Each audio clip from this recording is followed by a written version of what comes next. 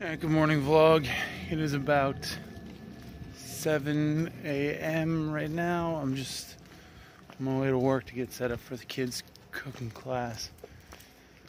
I slept until about 5.30 this morning. Excuse me. Um, didn't get a ton of shit done, but I did have a thought about Instagram. It's a couple weeks ago, a week, no, not even, a week ago, I boosted a post promoted it just to see what happened. I'd only put like 10 bucks into it. But I had an idea today to look at all the people who viewed it. I wasn't even sure if you could, but you can. And then I went on all of their pages and liked every photo that had anything to do with food or cooking.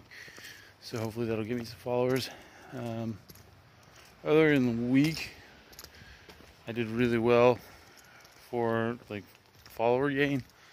Like from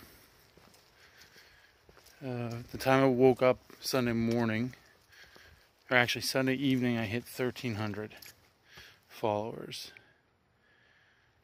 By the same time Monday, I had 1,400.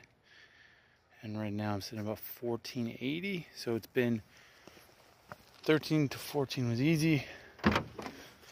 14 to 15 has been a bit more of a struggle, but I haven't had as much time, and my account got temporarily temporarily suspended.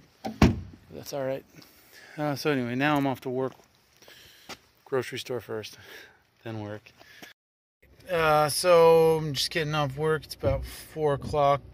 Um, just had the kids cooking class. It went really well.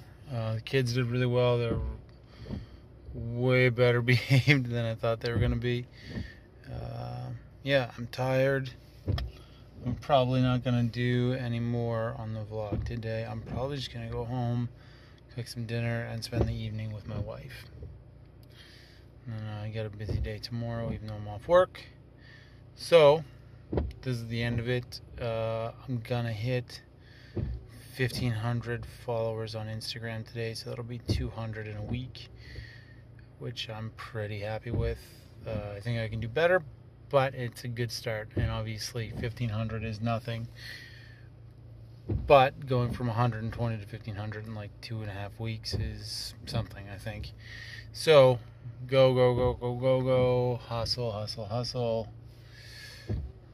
Spend time with my wife. See you tomorrow.